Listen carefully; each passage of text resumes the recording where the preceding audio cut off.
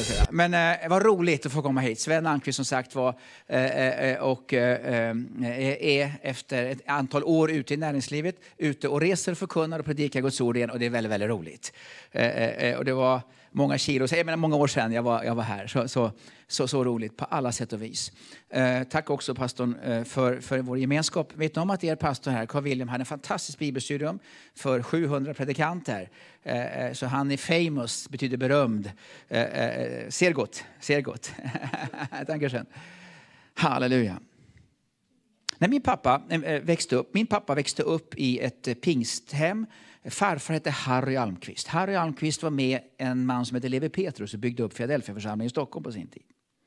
Eh, han var en så kallad ledande äldstebroder, en förkunnande. Och när man är ibland på expeditionen i Philadelphia så kan man se de här bilderna med Levi Petrus i, i, i mitten och sen några eh, ledande bröder, lite större bild och sen, ja, så där var det. Och farfar Harry Almqvist var det. Eh, det var ett, ett fantastiskt pingstpastorshem som, som farfar var förkunnare. Min pappa han var den enda av alla barn som inte tog emot Jesus till att börja med. Alla andra blev frälsta eh, redan innan de föddes, höll jag på att säga. Men pappa var en annan eh, kategori och han var väldigt eh, musikalisk och väldigt eh, kreativ. Och min lilla syster har fått alla de gåvorna. Gud är ibland orättvis tycker jag, men jag älskar honom ändå. Jag har sjungit i en kör en gång. Körledaren sa till mig, Sven du är unik, du har en helt egen stämma. Eh, men nåväl, eh, så, så var det i alla fall. Och eh, så pappa han började spela på, på, på barer och på danstillställningar och var ute och spelade. Och han var duktig på detta. Och det blev cigaretter och det blev alkohol. Och han blev delvis addicted, alltså bunden till detta. Vid 25 års ålder möter han Jesus. Han möter sådär riktigt radikalt och blir härligt frälst. Och sen träffar han eh, min, min, min, min mamma Sonja och de gifter sig. Fantastiskt, vilken tur för mig. Hon har varit som en mor för mig. Eh, eh, jag hoppas, ni, hoppas det är okej okay att jag är lite glimten i ögat. Sådär. Är det, är det, går det bra det? Eh, så de eh, träffas och så blir vi tre syskon, min stora syster och jag och lilla syster. Och eh, det berättas detta, och det här har jag fått bekräftat av min mamma Sonja. Pappa är hemma hos Herren nu. Men eh, eh, eh när pappa, då gick han tre månader på bibelskola. Man, gjorde, man gick tre månader på evangelistskola, så gick man ut på fältet. Va? Nu går man tre år på bibelskola och hittar inga fält. Men, eh, eh, eh men, men då gick man tre månader och ser ut på fältet. Okay? Eh, eh, eh, och, eh, och just det där, förlåt mig. Så, där, där. Eh, och, ehm, när han hade gått ut på fältet och, och, så var han ute och reste för att förkunna och undervisa. Så vid ett tillfälle sitter han på ett tåg på väg från en plats till en annan plats och undervisa. Och när han sitter där så är det som att helvetets demoner kommer över och börjar dra i honom. Det finns alkohol i restaurangvagnen. Alltså. Och han sa, men käre gode Gud, jag är ju frälst, jag är pingstpastor, jag är nygift, jag har små barn hemma. Jag kan inte falla, jag vill inte falla. Han kämpade. Så han, och han kämpade där i sin, i sin tågstol och brottades. En del av er kanske till och med förstår vilken brottningskamp det kan vara på olika områden. Och han ropar Gud hjälp mig. Han ropar tyst i sitt inre. Gud hjälp mig. Plötsligt öppnas dörren, i restaur, eh, i, i, inte restaurang, utan öppnas dörren i, i hans tågvagn. In kommer en man som kanske några av er har hört talas om, Tage Sjöberg. Tage Sjöberg var nämligen pappa till Stanley Sjöberg och Kjell Sjöberg. De som känner eh, visste vem Tage var. Det var en riktig gudsman. En man som hade med Gud att göra. Tage Sjöberg kommer in och han, han går eh, gången förbi. Och när han går förbi pappa, pang, blir min pappa helt löst. Och han bara går vidare. Och mig veteligen fick Tage Sjöberg aldrig reda på att han blev till befrielse. Runt honom fanns en atmosfär av befrielse. Runt honom fanns en atmosfär av, av Guds smörjelse.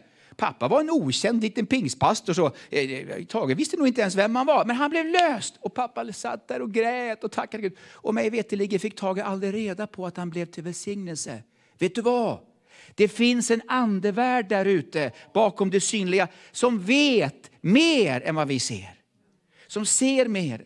Och vi behöver lära oss att förstå detta, att, eh, eh, att, eh, att den här märkligheten finns. Jag, ska, jag har ju studerat lite speciellt en man i Bibeln som heter Daniel. Jag ska gå in på en, ett område i hans liv. Det är en fantastisk personlighet i Bibeln, i Gamla Testamentet, Danielsboken.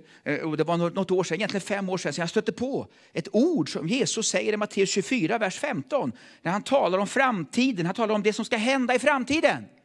Vet du vad? Jesus börjar inte med alla krig. Han talar om det. Han börjar inte med miljöförstöring, men han säger det kommer att vara tecken. Han börjar inte med det ena. Han säger låt inte bedra er.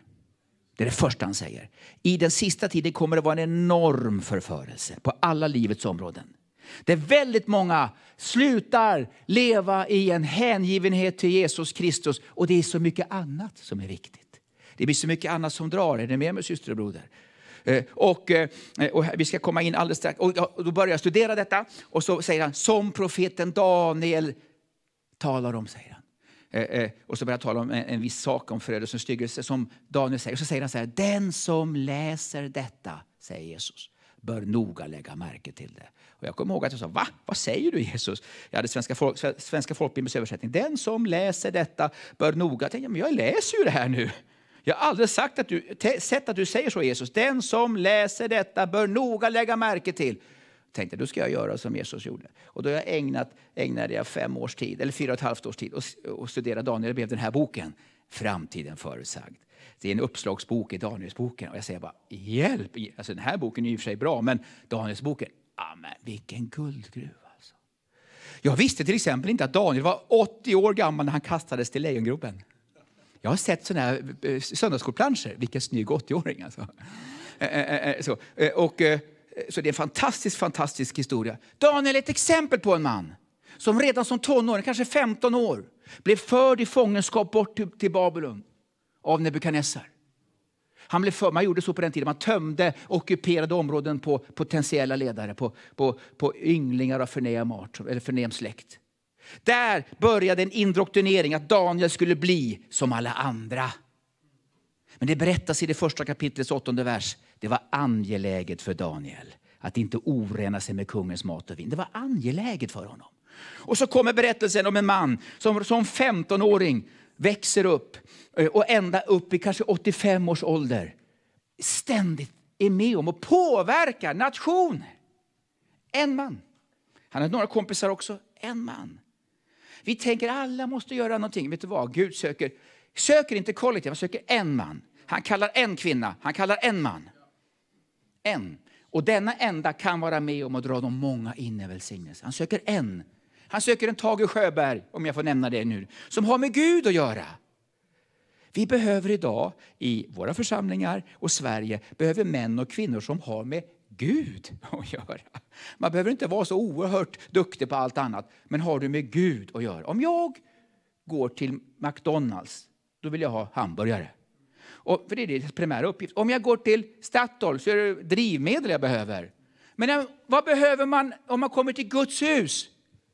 Gud! Gud! Var någonstans ska människor bli fria, befriade, hjälpta? Okej. Okay. Det tänker jag lite, med den här inledningen som var väldigt lång. Och så, men kommer jag, så tänk, just det, filmen här. Eh, ah, det är inte så mycket att filma egentligen, eh, man ska vara riktigt ärlig. Eh, eh, eh, eh, tron kommer inte av film, tron kommer att höra Guds ord, står det i Romarbrevet eh, 10. Eh, men, eh, men nåväl, för syns skull gör vi det. det var dubbelt skämt det där. Men min vän, vi går till Danielsbokens tionde kapitel så ska vi få vara med om en liten historia här som jag, ja, den är fascinerande. Han har kommit upp i hög ålder nu, den här mannen. Det står i den, vi läser från vers 1. I den persiska kungen Kores tredje regeringsår. Vi befinner oss alltså 536 före Kristus. Han är någonstans över 80 år. Fick Daniel, som också kallas Beltesassar, en uppenbarelse. Den uppenbarelsen är sann och gäller stor vedermöda. Han gav akt på orden och fick insikt om synen. Och så står det, nu kommer, jag Daniel hade gått och sörjt i tre veckor. Jag åt ingen god mat, kött och vin kom inte i min mun och jag smorde inte heller min kropp med olja förrän de tre veckorna gått. Av tidsskäl kan jag inte gå in på alla detaljer, men poängen är den. Daniel ber och fastar i tre veckor. Vi är glada om vi klarar tre, tre dagar eller tre, tre minuter. Ja? Enda gången jag fastnade var den jag fastnade i hissen. Alltså, lyssna med eh, Han bad och fastade. Vad var det han bad och fastade för? Det är rätt intressant. Och grejen är den att Kores, det var, han var regent i, i, i det, med det persiska riket som hade tagit över efter Babylonien. Han hade gett judarna rättighet att återvända tillbaka till Jerusalem. Men det som händer är att majoriteten vill inte längre. Man hade blivit nöjd med Babylon. Babylons goda grytor var mycket mer intressantare än att återvända till Guds hem och upp, bygga upp Guds församling. Man ville inte längre. Det var mysigare här. Man fastnade i mysien. Min vän, Gud har aldrig varnat oss för förföljelse, men han har varnat för förförelse. Han har varnat för förförelse. Att eh, vi vaggas in i att bli som alla andra. Anpassa er inte efter denna värld, utan låt er förnyas genom er sinnes förnyelse så ni kan avgöra vad som är Guds vilja. Varför har vi så svårt att avgöra vad som är Guds vilja? Vi är så påverkade av den här tidens värderingar, den här tidens tänk. Och jag talar rakt till mitt eget liv nu. Och vad som händer här är att, eh, att Daniel, denna gudsman, som hade varit med om att sett den ena regenten efter den andra falla. Och alla ville ha Daniel, för han var en rådgivare av Guds nåde. Han hade karaktär, han talade alltid sanning. Men han hade också en karisma, han hade en förmåga att tolka ting. Rätt intressant. Hela hans tjänst kom ju till genom att Nebukadnessar drömde drömmar. Kommer ni ihåg detta när jag läste andra kapitlet? Han drömde drömmar och han kallade till sig alla spåmän och kaldéer, vilket också Daniel räknade som, och sa, nu ska ni berätta för mig vad jag har drömt och vad det betyder. Och de sa, Åh, kung, berätta nu drömmen, ska vi säkert tyda lite? Nej, nej, nej, nej, säger han. Ni ska tala om vad jag har drömt och vad det betyder, annars kommer jag hugga huvudet av er. Det var lite andra arbetsvillkor på den tiden. Inte alls som kommunal, eller jo kanske som kommunal. Nej, nej, nu går vi inte in på politik här. Det, det var, det, det, på tanke på att huvuden rullar, sa jag, men det var inte det. Nu ska vi inte in på politik. Men eh, så är det. Och de sa, men det finns ingen kung som begär detta. Det är bara gudarna som kan avslöja sånt, säger de här spåmännen. Och gudarna bor ju inte bland människor. Och så kom, jag kommer att avrätta er alla. Och så dras också Daniel in i det här hotet. Men Daniel hade med Gud att göra. Och den som har att göra med Guds älskade får att göra med Gud själv. Daniel lyckas få reda på detta, lyckas genom goda kontakter få kontakt med Nebukadnessar och säger jag ska, det finns en Gud i, i himmelen som kan avslöja. Han samlar sina vänner, för vad då? En diskussionskväll? Nej, de samlades för att be till Gud. Och de ropade till Gud. Herre förbarma dig. Låt denna ting av uppenbaras om du vill det. Så står det, då uppenbarade Herren för Daniel. Och han såg i en dröm vad Nebukadnessar drömt om. Och så kommer han fram och så berättar, o konung Nebukadnessar, när du låg vid din bädd så satt du och drömde om vad händer i framtiden. Och plötsligt börjar dina drömmar bli profetiska. Du såg en bildstod, ni kan den där. Och så kommer hela berättelsen. Och Nebukadnessar säger, alltså, han, han, denna mäktiga, världens mäktigaste despot böjer knä för en tonåring, en tonårsjudepojke en symbol på att alla knän ska böjas för en annan judisk man, Jesus Kristus. Men så börjar Daniels resa. Jag ska säga så här. Kan man verkligen tolka drömmar? Jag ska berätta för dig en mycket märklig sak. Får jag göra det? Får jag vara lite personlig? Den 14 augusti 2003 kommer min äldsta son, som då var nio år gammal, till mig en morgon och säger pappa, Gud har pratat med mig i natt. Och det är ganska charmigt. Alltså, Gud pratar, vad sa han? Nej pappa, du ska berätta för mig vad han sa. Och jag började skratta. Alltså, för jag, det var lite så lillgammalt så jag skrattade precis som, som jag menar, jaha, sa jag till Emil, okej. Okay. Och så blundade jag tänkte, här sitter nioåringen med stort förtroende för pappas andlighet. Va? Så, käre god. Och plötsligt ser jag drömmen. Jag ser den i min ande, jag ser den. Och jag säger, e- Emil, jag ser att du står på en öde ö. Du drömmer om det. Och det är bara hav runt omkring. Och han börjar gråta. Ja, pappa, det är det. Och du ser människor som håller på att drunkna för de är bitna av ett odjur. Ja. Och så utspinner sig ett samtal mellan pappan och nioåringen om hans kallelse. Det har dröjt över tio år innan jag nämner detta, för man ska vara lite försiktig och dra in alla grejer man är med om sina barn. Idag är han 21 år gammal. Och eh, Hans dröm i livet, han är väldigt duktig på ettor och nollor. Hans dröm i livet är att bygga han, han, han, dröm, han ser in i den här dataspelsvärlden med så mycket våld och så mycket orenhet. Han säger, vi behöver komma in med Jesus, han älskar Jesus.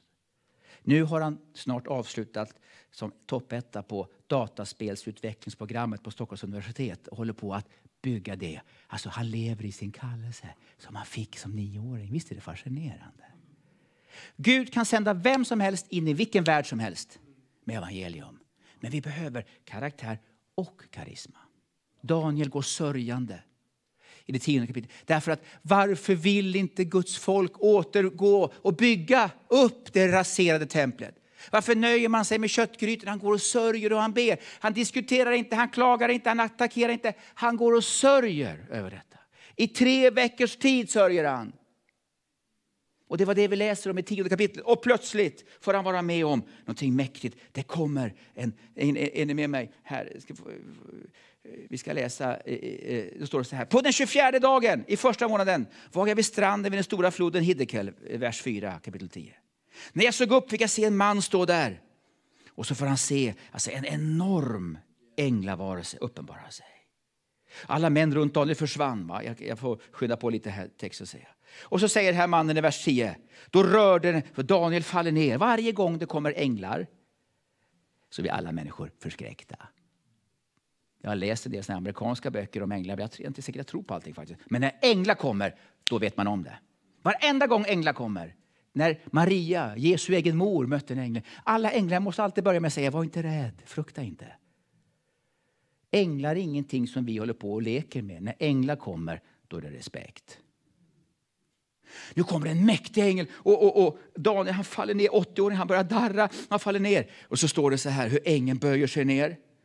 Och så säger ängeln så här, sedan, han, han, se, då rörde hans hand mig och hjälpte mig upp på mina darrande 80-åriga knän och händer. Sen sa han till mig, Daniel, du högt älskade man, min vän. Förstår du att himlen registrerar vad vi gör? Himlen ser, himlen vet. Du högt älskade man. Tre gånger om dagen i 80 år hade han böjt sina knän och bett i riktning mot Jerusalem. Tre gånger om dagen. Till och med när han stod inför att bli kastad till lejonen. Han, han, han öppnade fönstret och bad. Wow. Det var inte bara en tillfällig bön när han kände nöd, utan det var en livsstil att be, att umgås med Gud. Och så kommer vid andra tillfällen, vi vet inte namnet på den här ängeln, men det finns tillfällen i Danielsboken när Gabriel, denna mäktiga ärkeängel, kommer till honom och säger Daniel, du är högt älskad. Wow. Och så säger ängeln, så börjar ängeln tala med Daniel här. Res dig på dina fötter. När han sa det reste jag mig bävande upp. Han sa, frukta inte Daniel. Och nu kommer det intressant. Ty redan från första dagen när du vände ditt hjärta till att förstå och ödmjuka dig inför din Gud har dina ord varit hörda och jag har nu kommit för dina ords skull. Hör du det? Vad ängeln säger?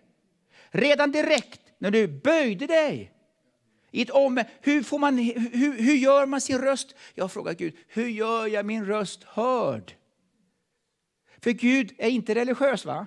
Om vi bara ber av tradition eller slentrian, förstå mig rätt min vän. Det ger inte intryck. Men när man likt Tage Sjöberg och andra som har med Gud att göra, då händer någonting.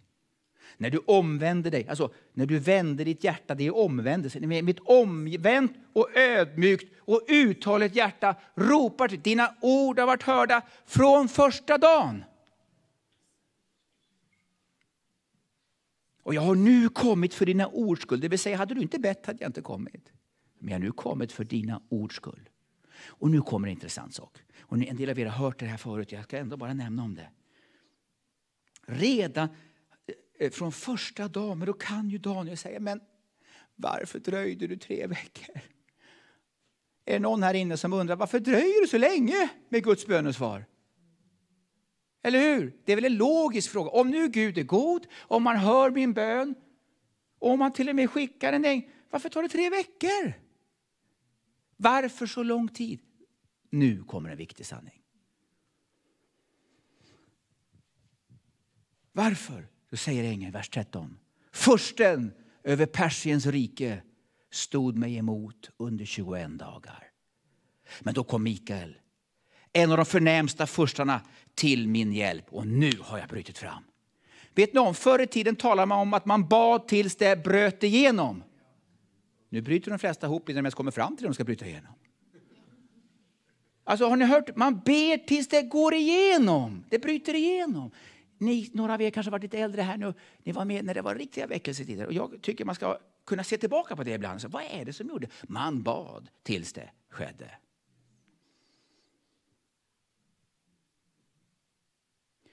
Och vem är, vad som händer är att när ängeln kom med bönen så fick han motstånd i andevärlden. Min vän, vår kamp är ju inte mot kött och blod.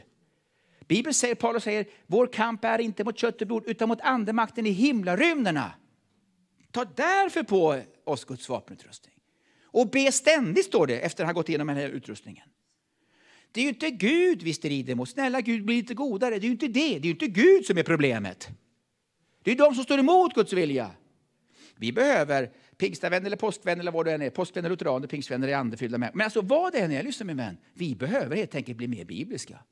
Sätta på oss Bibelns glasögon. Det är någon som säger nej till ditt bön. Det är någon som inte vill det. Det är en kamp. Har ni hört om mannen som fick glasögon för första gången? Och så, så fick han frågan, känns det tryggt nu? Tryggt, så Nu kommer det bilar överallt. En del vill ju inte att vi överhuvudtaget ska läsa Bibeln om det Bibeln säger. Vår kamp är inte mot kött och blod, utan mot någonting annat. Och vi måste bli... Här, här, Danielsboken är den bok i Gamla, i gamla testamentet som mest talar om änglar också. Det är en verklighet. Och vi behöver bli medvetna om detta. Inte på ett osunt sätt. Men bara, bara för att en del har varit i det diket så blir det inte bättre för jag är i det diket. Jag är lite rädd för, kära pingstvän och, och påskvän och, och Jesu vän här, att vi kanske börjar bli lite väl förnuftiga i vår tro. Det är väl logiskt. Lagom är bäst. Min vän, när Jesus gick fram befriade han människor, botade människor, hjälpte människor. Det var kraft. Det var kraft. Kommer du ihåg vid ett tillfälle när Jesus kommer över på Gedardas område? Plötsligt kommer legio, en man äh, som hade legio i sig. Har ni läst det där? Gedardas. Han var bunden av en legio, kanske tusen demoner. Och han skriker. Vet du vad demonerna säger? Han säger, vi, du, du är Guds helige. Har du kom, vi vet vem du är. Du är Guds helige. Har du kommit för att förgöra oss i förtid? Det vill säga, vi vet vem du är. Demonerna var de bästa teologerna. Vi vet vem du är. Har du kommit nu i en människokropp? Visst är det fascinerande? Vi vet inte vad Jesus sa, men han sa kanske ja, jag har kommit i förtid. Kommer ni ihåg berättelsen om Skefas sju söner? Judiska, det, var, det står i Apostlagärningarna 17 eller 19. Några judiska andeutdrivare uttalade namnet Jesus över några som var bundna. Man, man var exorcister. Och så såg man hur de enkla kristna med bara med namnet Jesus löste människor. Och de tänkte, mm, vad intressant. här. De fick lite pengar nämligen för sin exorcism. Så då sa de, okej, okay, vi, vi, vi använder Jesu namn som en teknik. Och så var de vid en besatt människa. Och så, så vid, den, vid den Jesus som Paulus förkunnar besvärjer vi dig. Vet du vad den onda anden säger? Vem Jesus är vet jag. Paulus är mig och väl bekant. Vilka är ni? Vilka är ni? Har du läst det någon gång? Andarna vet vilka vi är. Förstår du min vän Tage Sjöberg? Andarna visste. Det kom någon som satte min pappa fri. Det är intressant att andarna säger vem Jesus är, vet det, det vet vi ju. Men det intressanta är Paulus är med och Välbeck. Paulus var inte där. Men vi känner Paulus, vi tycker inte om honom. Jag sitter på ett flygplan på väg till västkusten, det är några år sedan nu. En, en, para, en, en dam, en, jag vet inte om jag berättade det sista, men en väldigt, väldigt välklädd dam sitter bredvid mig, kanske 65-70 års åldern. Plötsligt vänder hon sig om och säger du, jag sitter och ber. Jag ber inte högt, jag läser inte någon kristen tidning, jag har inte kors och grejer. Jag bara sitter och ber för jag ska ha möten. Hon menar, du är en präst. Eh, eh, ja, alltså, du kanske känner igen mig. Jag känner inte igen dig, men du är en präst, sa hon. Jaha, ja, det är jag pastor, sa jag. Så, vem är ni? Jag är rikshäxa. Jag är rikshäxa. Jag känner att du är en präst, sa hon. Jaha, jag har själv tillhört det där, men jag har gått vidare med min andlighet, sa hon. Jag har gått vidare. Där sitter rikshäxad och riksevangelister på 10 000 meters höjd. Eh, eh, eh, och det går liksom inte att gå därifrån. Och kaffet det var så hot. Alltså. Hennes ögon var absolut svarta. Och det, kaffet, det, det, kaffet blev inte kallt kan jag säga. Det, så, det var som mikrovågor. Alltså. Jag talar om Jesus och Jesu kärlek. Hon talar om andarna som kan ge dig mening med livet. Förstå mig rätt min vän. Det intressanta är att hon kände i sin orena ande, du är en präst. Och jag tycker inte om det. Vi kanske är lite för omtyckta av de onda andarna. Är ni med mig? Jag spetsar till det nu. Jag vet pastorn, jag ska snart åka. Du får ta alla samtal sen efteråt. Men, Min vän, vi behöver ha med Jesus att göra. Vi behöver göra med Guds ande att göra. Vi behöver förstå att vi är Guds söner och döttrar. Vi är kallade att gå ut och göra alla folk till lärjungar, döpade dem med Fader, Son och Helandes namn, bota, befria, lösa. Och Daniel, han ber tills det bryter igenom. Nu har jag kommit fram, tack vare att du höll på. Inte bara en vecka, inte två veckor, tre veckor. Nu kom andeförstärkning med, med anledning av Mikael. Nu har jag kommit för att tala om för dig. Jag ska alldeles strax gå till paus. Här. Jag, har talat, jag har talat i 45 minuter snart här. Alltså, det är ju otroligt. Eh, har ni fel på klockorna här i Eskilstuna? Eh, Allan Edström sa till mig en gång när jag var här, eh, Sven du predikar ändå rätt så bra för din ålder, sånt. men det var väldigt länge du håller på. Eh, eh, men nu är inte han här så nu ska jag ta igen det. Nej. Eh, ja, ni vet inte vem Allan Edström var, det kanske lika, nej, det är, han är fantastisk. Lika bra det. Men äh, äh, jag är frimodig nu i slutändan. Ja, jag älskar honom också. Men lyssna nu min vän. Det finns ett ord, en, en, en liknelse i, i Nya Testamentet som Jesus undervisar. Det är egentligen talar om är uthållig bön. Att be, be tills det sker, det bryter igenom. Att inte ge upp. Det finns, du finns här som har bett för ditt barn kanske 30 år, kanske 40 år. Fortsätt ett år till. Ja, men det händer ju ingenting. Vad vet du om det?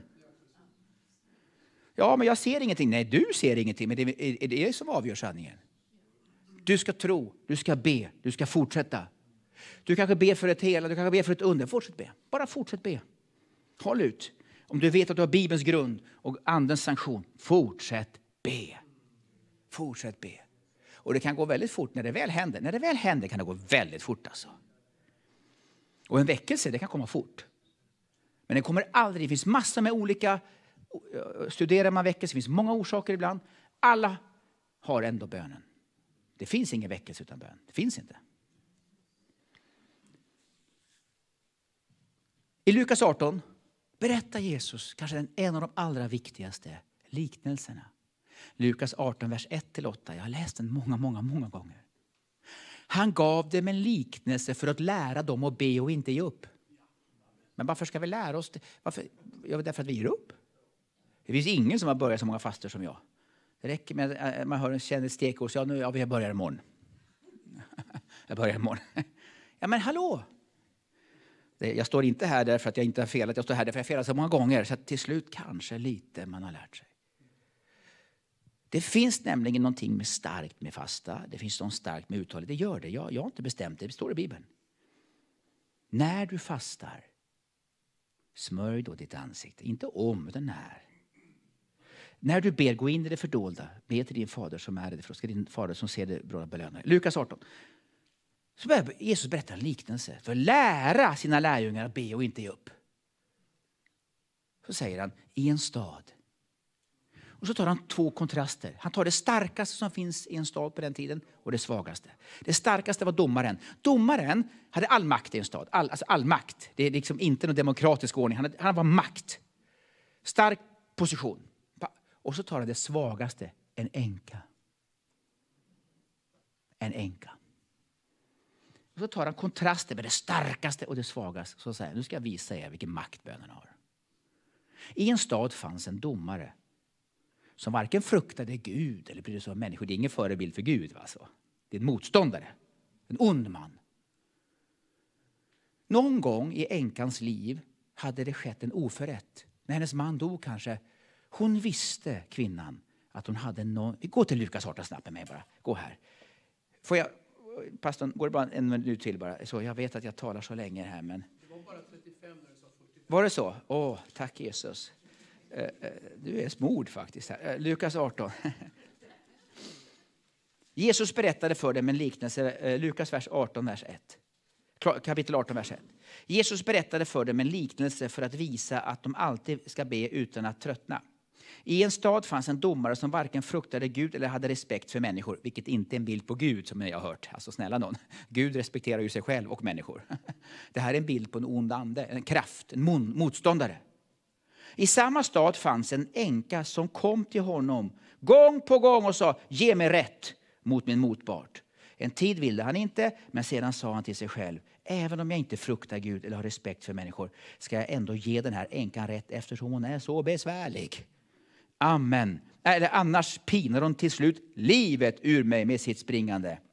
Hör ni nu vad en orättfärdig domare säger?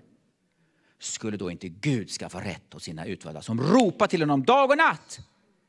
Han lyssnar tålmodigt till dem. Jag säger, han ska snart skaffa dem rätt. Men ska Människosonen finna någon tro här på jorden när han kommer? Och det här handlar ju om bön, inte när hans andra tillkommelse. När han kommer med bönesvaret. Han gav ju dem en liknelse om bön. Och där han säger det här. Vad som vad krävs för att vara uthållig? Tro. Gud, Gud. Kvinnan visste, jag har rätten, jag har sanningen, jag har löftena. Och jag har trons uthållighet. Och gång på gång kom hon till domaren och sa, släpp, släpp. Precis som Mose sa till farao, släpp Guds folk, släpp Guds folk. Aldrig, aldrig, aldrig, aldrig. Det är som att Jesus låter oss se in i den onda domarens tankar. Så jag orkar inte med de här be, ropande kvinnan längre. Jag orkar inte ta emot det. Jag orkar inte stå emot längre. Jag släpper det. Nu är jag tillspetsig här, men ibland undrar jag, det kanske inte är så besvärligt att vara motståndare till Guds folk i din stad. Det räcker med lite motstånd i två dagar så slutar man be. Men de som ber, de som ber och så ber. 1958 blev en enkel korean frälst, 18 år gammal. Hette John Guizhou, bytte han namn till. Han startade en liten församling på, med sex kvinnor. Köpte ett amerikanskt militärtält. Och han kunde inte predika speciellt bra. Men han bad och sa Gud, Gud, Gud. Sex. När han predikade så blundade han och skrek, har det berättats. Och efteråt så var det någon som har sagt till honom, men pastor, so, pastor varför, varför, varför blundar ni när jag predikar? Jo, jag blundar därför att Gud har, Gud har sagt till mig i bön att du ska få 3000 medlemmar i församlingen. Och när jag tittar så är jag bara sex. Och jag vill inte tappa tron, så jag blundar och predikar. Men varför skriker ni så mycket? Ja, men hur ska annars alla 3000 höra mig? Tro är en övertygelse om att det Gud har sagt, det kommer att ske. Och det blev 3 000, det blev 10 000, det blev 30 000, det blev 100 000, 200 000, 300 000, 500 000, 600 000. Idag är de 850 000, men de har gett bort ett par hundratusen också. Idag är 40 procent av Sydkoreas befolkning pånyttfödda kristna. När, när, när Ljungskog blev frälst var 98 procent buddister. Tro mig, det går att vända ett land. Men vad kännetecknar det? Det är bön och det är bön och de ropar och de ropar. Jag har själv varit på ett bönemöte där i Sydkorea. De var 50 000 bedjare på Seoul Stadium. Det var hälften av cellgruppsledarna. 50 000. Och när koreaner ber, och då vill inte jag vara ondand i alla fall, kan jag säga. Det är väldigt vad de ber alltså. De, de ropar till Gud alltså. Vi behöver inte vara koreaner och sådär. vi ska vara svenskar och lite, lite värdiga. Men, men alltså, men be borde vi göra. Min vän, det är möjligt. Det är möjligt. Jesus säger det. Exemplen i Bibeln är det. Och det är min enkla hälsning här. Låt oss fortsätta ett varv till. Ropa ett varv till. Jag längtar, jag ber till Gud. Gud, vi behöver se mer av genuina under och tecken. Det måste vara genuin. Människor blir befriade ifrån bundenhet, alkoholism, ifrån, ifrån, ifrån betryck och, och depressioner. Vi fokuserar inte onda andar, vi fokuserar Jesus och människors frälsning. Men vi behöver, vi behöver bli medvetna om detta. Det är min enkla hälsning här. Enkla hälsning, det är skriftens hälsning här ikväll. Så jag ska be en stund nu. Jag ska be om att din bönens ande får komma över dig. Och du säger, men Sven, jag är 80 år gammal, jag är väl ingenting. Gud är mycket äldre än dig. Eh, och han är full vigör. Du är Guds barn. Du ska leva i all evighet. Ja, men jag är fär färdig. Du, du äntligen har blivit mogen. Alltså, lyssna min vän. Vi får sluta tänka ålderstänk här. Vem, vem, det, det, det, det, är en ande, det, det är en värdering som inte kommer från Guds, Guds ord. Vi behöver unga och äldre. Jag tror på unga och äldre. Jag tror, men jag tror på bönens ande och samma ande. Det, det, det enda som kan förena oss det är inte i första hand ljudvolym och musik. Det är den heliga ande och skriften. Och skriften. Halleluja. Herre, jag bara tackar dig för mina syskon som jag får förmånen några minuter här ikväll att från ditt ord undervisa. Herre, jag ber. Herre, vi är alla vi, vi, har alla misslyckanden i våra liv. Vi står inte här på grund av vad rättfärdigt vi har gjort. Vi står bara här på grund av din nåd. Bara på grund av din nåd, Herre. Men din nåd är stark. Din nåd är mäktig. Och jag bara ber dig, Herre, att du lägger en mantel av bön, precis som Daniel hade. En uthållig ande, som änkan hade, Herre. Att ropa till, ropa till dig och också stå emot det onda som vill bryta ner människor i våra städer och länder, Herre. Att, de, att alla människor som är fångna i synd, alla människor som är fångna i, i orenhet, att de får komma loss, Herre. I Jesu namn, Herre. Och jag, jag ber här för alla dem som ber för sina barn och barnbarn och kanske barnbarns barn där det finns, Herre. Som inte tillhör dig, som kanske vandrar på syndens väg just nu, Herre. Jag ber att, dessa, eh, att vi här inne blir förebedjare, Herre. Vi ber, Herre. Vi ropar, Herre. Halleluja, Herre. Jag vill be dig, Herre, att du ska låta det få bryta igenom nu, Herre. Att några av ungdomarna får bli frälsta, barnbarnen och barnen får bli frälsta nu, Herre. I Jesu namn. Här finns det de som kanske har lidit av problematiker i sina liv. Herre, kom med ljus, kom med befrielse, kom med helbrägdagörelse. Herre, jag tackar dig för det. Åh, Herre, jag bara ber att vi får trons ande. För tro är ju en övertygelse om att det kommer att bli så. Därför ger vi inte upp. Ge upp gör vi när vi inte tror längre. Men jag ber om en trons ande, en uthållig ande. Här i Pingstkyrkan och andra församlingar här i Eskilstuna, i vår stad, Herre. Gud, jag ber att du reser upp genuina bedjare, Herre. Halleluja, Herre. Halleluja, Jesus. Jag tackar dig för det. Jag tackar dig för det. Tack att du lägger en mantel av bön över oss, Herre. Det är fantastiskt att få be till dig. När vi är i vår ensam eller där det finns par, där man är gift och, och kan tillbringa dagar tillsammans. Herre. Tack att man avsätter tid, lite mera nu än tidigare. Man höjer bönes, böneskyddet, Herre. Halleluja, Herre. Halleluja. Jag tackar dig för eh, pastor Carl William här och de som i din församling över det här landet som tror på bön, Herre. Och, och tar steg emot detta, Herre. Halleluja, Herre. Och jag tackar dig för den väckelse som rasar i Afrika, väckelse som rasar i Asien, rasar i Latinamerika. Herre, tack för det som sker, Herre. Halleluja. Halleluja, Jesus. Halleluja, Jesus. Halleluja, precis som pastor Carl William sa här, eller det var någon som sa det, var det, det var någon annan som sa det här, det var medarbetaren här tror jag, att, eh, att, eh, alltså, att, att Gud kan uppenbara någonting. Alltså, jag precis på, jag hörde ett vittnesbörd nu, ni känner ju till Daniel Berg och Gunnar Wingren.